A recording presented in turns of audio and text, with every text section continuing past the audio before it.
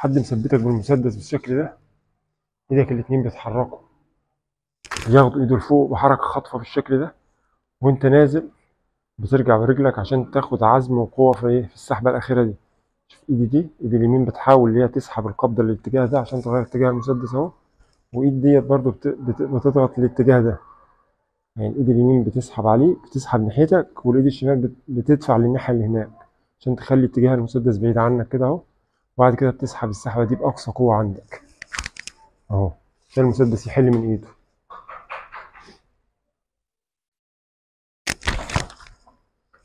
تخلص الحركة كلها في جزء من الثانية وجزء من الثانية تكون منفذ الحركة. إيدك ما بتتحركش غير وهي رايحة تعمل الحركة. إيدك ثابتة مكانها أهو. من غير ما تبص. من غير ما تبص بتنفذ الحركة.